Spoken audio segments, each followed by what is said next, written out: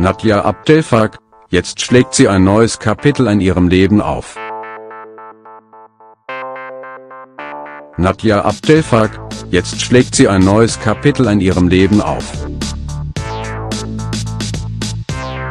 Blue Banks Tochter wirft mit Geld um sich. Bastian Schweinsteiger und Anna sind Eltern geworden. Anna Ermakova. Emotionale Reise in die Vergangenheit. Nadja Abdelfak stellt ihre Biografie Achterbahn vor. Eifert Sophia Tomalagen Stefani nach.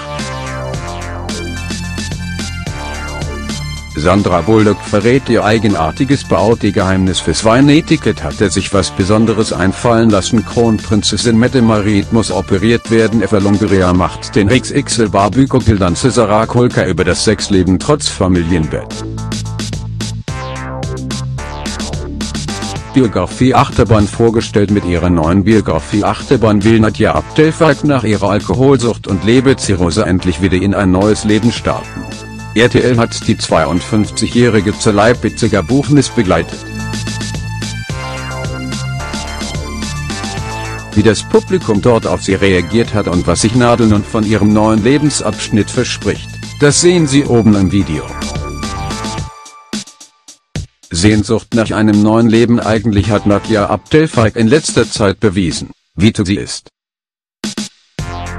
Der Zustand ihrer Leber hat sich zwar rasant verschlechtert, doch Nadel blieb unbeeindruckt und hat den Kampf gegen ihre Krankheit aufgenommen.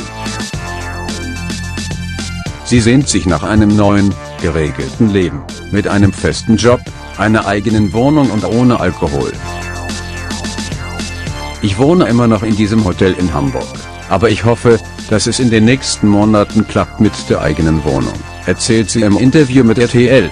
Auch in Sachen Liebe hatte die 52-Jährige zuletzt kein Glück. Ich habe immer noch nicht den richtigen gefunden. Und dabei hat sie genaue Vorstellungen, wie ihr Traummann sein muss. Es muss ein gescheiter Mann sein, der schon im Leben steht. Ein erster Schritt in ein neues, glückliches Leben soll für Nadja Abdelfak jetzt ihre Biografie sein. Ob das klappt, wird die Zukunft zeigen.